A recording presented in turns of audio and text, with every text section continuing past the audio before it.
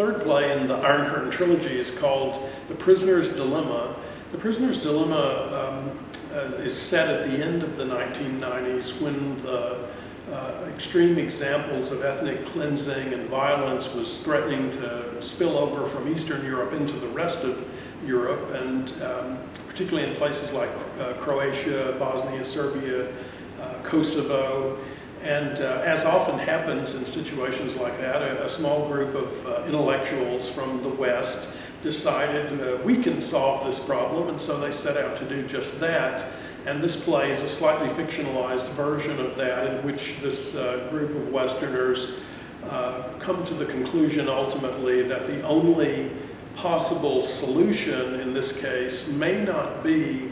the ideal solution. That uh, discovery is at the heart of David Edgar's The Prisoner's Dilemma, and I hope that you'll come see that play and uh, the other two plays that make up the Iron Curtain trilogy.